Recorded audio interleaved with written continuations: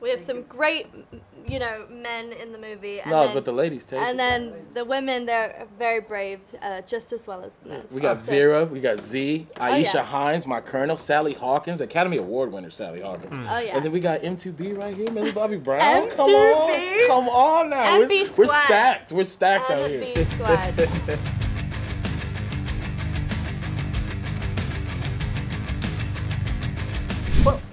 given the Toho history of uh, making monsters movie, there was a lot of monsters to pick up for for for this movie. So how how that process was, and how did you end up taking these three specific monsters for? These are the uh, original all stars of the Toho cinematic universe. Uh, Mothra, Rodan, King Ghidorah, and Godzilla were the first four to team up with each other uh, way back in the 60s.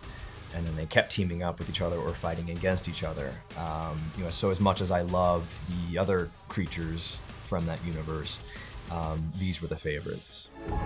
Mothra, Rodan, Ghidorah. Oh my. They're moving like a pack. They're hunting. They all respond directly to an alpha. And uh, how was the process of, of Ghidorah? I, I read that uh, you cast like th- three actors for each head. Yeah, we did uh, what they call performance capture or motion capture uh, for certain sequences, and it was important to me that each of Ghidorah's heads have a separate personality from each other, almost like three brothers or triplets. So, oh shit. I know that you were a huge Godzilla fan. So how, it's like a dream come true to me. Yes, this uh my father always says Straight Outta Compton was the movie I was born to play, but this is the second movie I was born to play. And to be able to go from a little kid playing with the action figures, you know, knocking over Legos with Godzilla, to being in the film, you know, 10 year old Shay is loving it right now. Is there another creature that might stand a chance against him?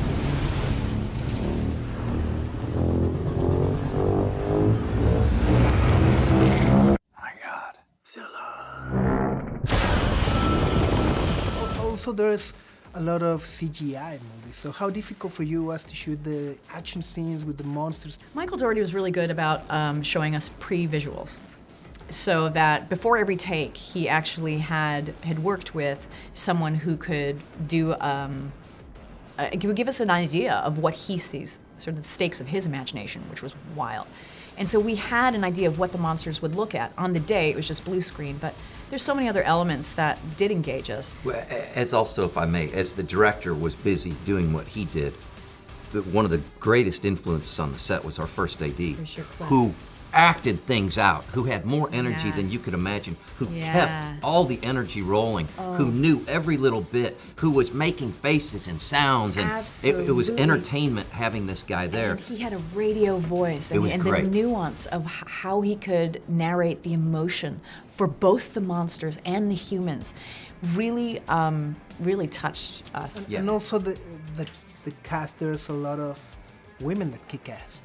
For sure. Uh, yes, there's gender parity in our, in our, it's true. It's actually quite remarkable. When I was watching, I thought, wow, there are probably as many women, if not close, and they are all, they're not just like asking the who, what, when, where, why questions. They're coming up with solutions. They are leadership in action, whether it's military, women in the military with Aisha's character, whether in science, maternity. Um, it's just very, what you see is, is women taking action. Oh, yeah, sure. Let's bring him in for a beer. No, this time we join the fight. Run.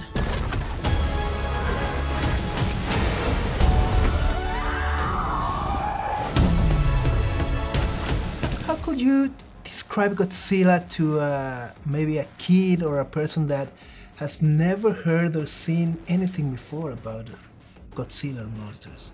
Um, well, the the Earth comes with its its natural creatures, and a part of those natural creatures are the Titans. And the Titans, just like the normal animals that we know every day, Uh, they just seem they're just huge and giant, so they have to you know do things on a larger scale. And Godzilla is the king of all of those, and they he makes sure that they stay in line and don't hurt the humans, and that's a key part.